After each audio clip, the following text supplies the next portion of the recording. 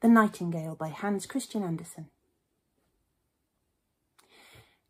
The Emperor's Palace was the wonder of the world. It was made entirely of fine porcelain, extremely expensive, but so delicate that you could touch it only with the greatest of care. In the garden the rarest flowers bloomed, and to the prettiest ones were tied little silver bells, which tinkled so that no one could pass by without noticing them. Yes, all things were arranged, according to plan, in the Emperor's garden. Though how far and wide it extended, not even the gardener knew. If you walked on and on, you came to a fine forest, where the trees were tall and the lakes were deep. The forest ran down to the deep blue sea, so close that tall ships could sail under the branches of the trees. In these trees a nightingale lived. His song was so ravishing that even the poor fisherman, who had much else to do, stopped to listen on the nights he went out to cast his nets and heard the nightingale. How beautiful that is, he said. But he had his work to attend to, and he would forget the bird's song. But the next night, when he heard the song again, he would say, oh, How beautiful! From all the countries in the world, travellers came to the city of the emperor. They admired the city. They admired the palace and its garden. But when they heard the nightingale, they said, That is the best of all. And the travellers told of it when they came home. And men of learning wrote many books about the town, about the palace, and about the garden. But they did not forget the nightingale. They praised him highest of all, and those who were poets wrote magnificent poems about the nightingale who lived in the forest by the deep sea. These books went all the world over, and some of them came even to the emperor. He sat in his golden chair and read, nodding his head in delight over such glowing descriptions of his city and palace and garden. But the nightingale is the best of all. He read it in print. Oh, what's this? The Emperor exclaimed. I don't know of any nightingale. Can there be such a bird in my empire, in my own garden, and I not know it? To think that I should have to learn about it in a book. Thereupon he called his lord-in-waiting, who was so exalted that when any one of lower rank dared to speak to him or ask a question, he only answered P, which means nothing at all. They say there's a most remarkable bird called the nightingale, said the emperor. They say it's the best thing in all my empire. Why haven't I been told about it? I've never heard the name mentioned, said the lord-in-waiting. He hasn't been presented at court. I command that he appear before me this evening and sing, said the emperor. The whole world knows my possessions better than I do. I never heard of him before, said the lord-in-waiting but I shall look for him. I'll find him. But where? The lord-in-waiting ran upstairs and downstairs, through all the rooms and corridors, but no one he met with had ever heard tell of the nightingale. So the lord-in-waiting ran back to the emperor and said it must be a story invented by those who write books. Your imperial majesty would scarcely believe how much of what is written is fiction, if not downright black art. But the book I read was sent to me by the mighty Emperor of Japan, said the Emperor. Well, therefore it can't be a pack of lies. I must hear this nightingale. I insist upon his being here this evening. He has my high imperial favour, and if he is not coming, well, then I'll have the whole court punished. Pshaw! said the lord in, wait in waiting, and off he scurried up the stairs through all the rooms and corridors and half the court ran with him, for no one wanted to be punished. There was much questioning as to the whereabouts of this remarkable nightingale, who was so well known everywhere in the world except at home. At last, they found a poor little kitchen girl, who said, The nightingale, I know him well. Yes, indeed, he can sing. Every evening I get leave to carry scraps from the table to my sick mother, and she lives down by the shore. When I start back, I'm tired and rest in the woods. Then I hear the nightingale sing. It brings tears to my eyes. It's as if my mother were kissing me. Little kitchen girl, said the Lord-in-Waiting. I'll have you appointed scullion for life. I'll even get permission for you to watch the Emperor dine, if you'll take us to the nightingale who is commanded to appear at court this evening. So they went into the forest, where the nightingale usually sang. Half the court went along. On the way to the forest, a cow began to moo. Oh, cried a courtier, that must be it. What a powerful voice for a creature so small. I'm sure I've heard her sing before. No, that's the cow lowing, said the little kitchen girl. We still have a long way to go. Then the frogs in the marsh began to croak. Glorious, said a court person. Now I hear it, like, like church bells ringing.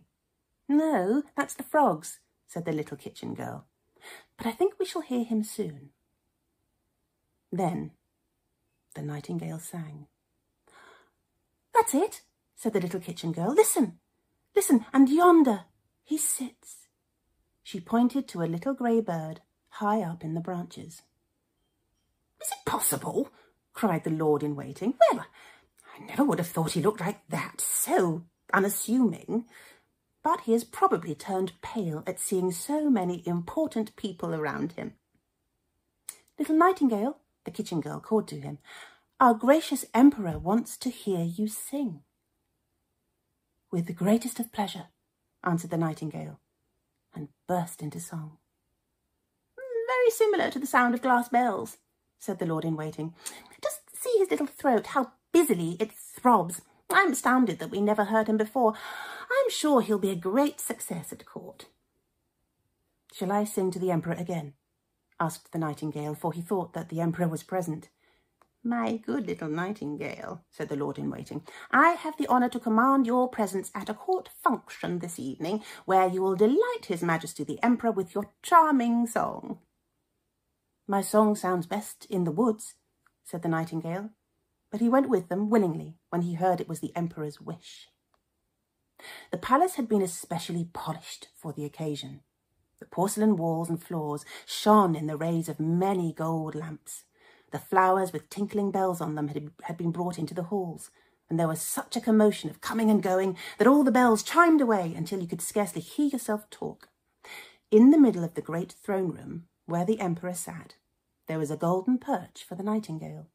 The whole court was there, and they let the little kitchen girl stand behind the door, now that she had been appointed imperial potwalloper. Every one was dressed in his best, and all stared at the little grey bird to which the emperor graciously nodded. And the nightingale sang so sweetly that tears came into the emperor's eyes and rolled down his cheeks. Then the nightingale sang still more sweetly, and it was the emperor's heart that melted. The emperor was so touched that he wanted his own golden slipper hung round the nightingale's neck, but the nightingale declined it with thanks. He had already been amply rewarded. I have seen tears in the emperor's eyes, he said. Nothing could surpass that. An emperor's tears are strangely powerful. I have my reward. And he sang again, gloriously. It's the most charming coquetry we ever heard, said the ladies in waiting, and they took water in their mouths so they could gurgle when anyone spoke to them, hoping to rival the nightingale. Even the lackeys and chambermaids said they were satisfied, which was saying a great deal, for they were the hardest to please. Unquestionably, the nightingale was a success. He was to stay at court and have his own cage. He had permission to go for a walk twice a day and once a night. Twelve footmen attended him, each one holding tight to a ribbon tied to the bird's leg. There wasn't much fun in such outings. The whole town talked about the marvellous bird, and if two people met, one would scarcely say night before the other said gale, and then they would sigh in unison, with no need for words. Eleven pork butcher's children were named Nightingale, but not one could sing. One day, the emperor received a large package labelled The Nightingale. Oh, this must be another book about my celebrated bird, he said but it was not a book. In the box was a work of art, an artificial nightingale, most like the real one except that it was encrusted with diamonds, rubies and sapphires. And when it was wound, the artificial bird could sing one of the nightingale's songs while it wagged its glittering gold and silver tail. Round its neck hung a ribbon inscribed, The Emperor of Japan's nightingale is a poor thing compared with that of the Emperor of China. Isn't that nice? everyone said, and the man who had brought the contraption was immediately promoted to be Imperial Nightingale Fetcher-in-Chief. Now, let's have them sing together. What a duet that will be, said the courtiers. So they had to sing together, but it didn't turn out so well, for the real nightingale sang whatever came into his head, while the imitation bird sang by rote. Well, that's not the newcomer's fault, said the music master. He keeps perfect time, just as I have taught him. Then they had the imitation bird sing by itself. It met with the same success as the real nightingale, and besides, it was much prettier to see, all sparkling like bracelets and breastpins. Three and thirty times it sang the self-same song without tiring. The courtiers would gladly have heard it again, but the emperor said the real nightingale should now have his turn. But where was he? No one had noticed. He had flown out the open window, back to his home in the green forest. But what made him do that? said the emperor. All the courtiers slandered the nightingale, whom they called a most ungrateful wretch. Luckily we have the best bird, they said, and made the imitation one sing again. That was the thirty-fourth time they had heard the same tune, but they didn't quite know it by heart because it was a difficult piece, and the music master praised the artificial bird beyond measure. Yes, he said that the contraption was much better than the real nightingale, not only in its dress and its many beautiful diamonds, but also in its mechanical interior. You see, ladies and gentlemen, and above all your imperial majesty, with a real nightingale, one never knows what to expect. But with this artificial bird, everything goes according to plan. Nothing is left to chance. I can explain it and take it to pieces and show how the mechanical wheels are arranged, how they go around and how one follows after another. Those are our sentiments exactly, said they all, and the music master was commanded to have the bird give a public concert next Sunday.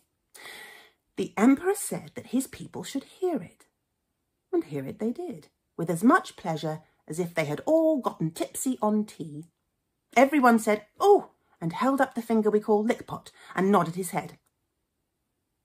But the poor fisherman, who had heard the real nightingale, said, Well, that is very pretty, very nearly the real thing, but not quite. Can't imagine what's lacking. The real nightingale had been banished from the land. In its place, the artificial bird sat on a cushion beside the emperor's bed. All its gold and jewelled presents lay about it, and its title was now Grand Imperial Singer of the Emperor to Sleep. In rank, it stood first from the left, for the Emperor gave preeminence to the left side because of the heart. Even an emperor's heart is on the left. The music master wrote a 25-volume book about the artificial bird. It was learned, long-winded, and full of hard words, yet everybody said they read and understood it, lest they show themselves stupid, and would then have been, well, punished. After a year, the emperor, his court, and everybody else knew every twitter of the artificial song by heart. They liked it all the better now they could sing it themselves, which they did. Street urchins sang it, and the emperor sang it too. That's how popular it was. But one night, while the artificial bird was singing his best by the emperor's bed, something inside the bird broke with a twang. Whir! All the wheels ran down, and the music stopped. Out of bed jumped the emperor and sent for his own physician, but what could he do? Then he sent for a watchmaker who conferred and investigated and patched up the bird after a fashion.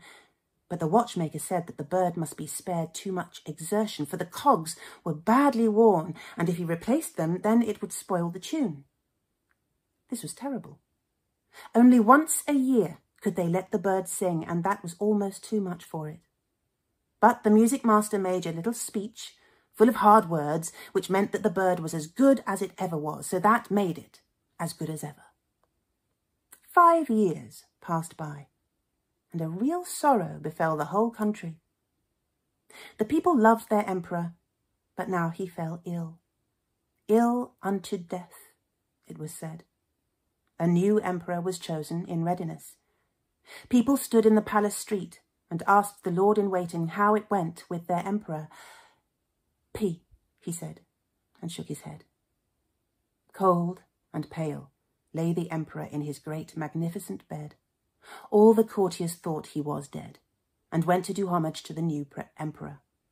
The lackeys went off to trade gossip, and the chambermaids gave a coffee party because it was such a special occasion.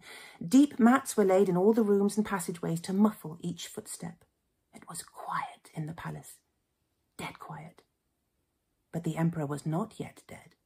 Stiff and pale he lay in his magnificent bed with the long velvet curtains and the heavy gold tassels. High in the wall was an open window, through which moonlight fell on the emperor and his artificial bird. The poor emperor could hardly breathe. It was as if something were sitting on his chest. Opening his eyes, he saw it was Death who sat there, wearing the emperor's crown, handling the emperor's gold sword, and carrying the emperor's silk banner. Among the folds of the great velvet curtains there were strangely familiar faces. Some were horrible, some gentle and kind. They were the emperor's deeds, good and bad, who came back to him now that death sat on his heart. Don't you remember? They whispered, one after the other. Don't you remember? And they told him of things that made the cold sweat run on his forehead. No, I will not remember, said the emperor. Music, music, sound the great drum, lest I hear what they say. But they went on whispering, and death nodded at every word. Music, Music, the emperor called. Sing, my precious little golden bird, sing. I have given you gold and precious presents. I have hung my golden slipper around your neck. Sing, I pray you, sing. But the bird stood silent. There was no one to wind it, nothing to make it sing. Death kept staring through his great hollow eyes, and it was quiet, deadly quiet. Suddenly, through the window, came a burst of song. It was the little live nightingale who sat outside on a spray. He had heard of the emperor's plight and had, had come to sing of comfort and hope. As he sang, the phantoms grew pale and still more pale, and the blood flowed quicker and quicker through the emperor's feeble body. Even death listened and said, Go on, go on, little nightingale, go on. But, said the little nightingale, will you give back that sword that banner, that emperor's crown. And death gave back these treasures for a song. The nightingale sang on. It sang of the quiet churchyard where white roses grow, where the elder flowers make the air sweet, and where the grass is always green, wet with tears of those who are still alive. Death longed for his garden. Out through the windows drifted a cold grey mist as death departed. Thank you, thank you, the emperor said. Little bird from heaven, I know you of old. I banished you once from my land, and yet you have sung away the evil faces from my bed and death from my heart. How can I repay you? You have already rewarded me, said the nightingale. I brought tears to your eyes when first I sang for you. To the heart of a singer, those are more precious than any precious stone but sleep now, and grow fresh and strong while I sing. He sang on until the emperor fell into a sound, refreshing sleep, a sweet and soothing slumber. The sun was shining in his window when the emperor awoke, restored and well. Not one of his servants had returned to him, for they thought him dead, but the nightingale still sang. You must stay with me always, said the emperor. Sing to me only when you please. I shall break the artificial bird into a thousand pieces. No, said the nightingale. It did its best. Keep it near you. I cannot build my nest here, or live in a palace, so let me come as I will. Then I shall sit on the spray by your window and sing things that will make you happy and thoughtful too. I'll sing about those who are gay and those who are sorrowful. My songs will tell you of all the good and evil that you do not see. a little singing bird flies far and wide to the fisherman's hut, to the farmer's home, and to many other places a long way off from you and your court. I love your heart better than I do your crown. I will come and sing to you if you will promise me one thing. All that I have is yours, cried the emperor, who stood in his imperial robes, which he had put on himself, and held his heavy gold sword to his heart. One thing only, the nightingale asked. You must not let anyone know that you have a little bird who tells you everything. Then all will go even better. And he flew away. The servants came in to look after their dead emperor. And there they stood, and the emperor said, Good morning. Um, we know that times are tough, and that's why our roundabout Advent stories are free for you to view. But if you would like to make a donation, we'd be very, very grateful for your support. Your Christmas gift could help us deliver drama therapy support to children and vulnerable adults who are really struggling at this time of heightened anxiety and isolation. Add us to your Christmas list this year and donate whatever you would normally spend on a present for a friend. You can make a real difference to the lives of people coping with trauma, disabilities or challenging mental health issues. And thank you for your support.